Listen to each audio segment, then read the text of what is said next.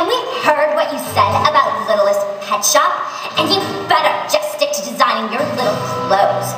Yeah, because there's nothing you can do to save it. But how would you know that? How can you judge someone, say anything about anyone before you even get to know them?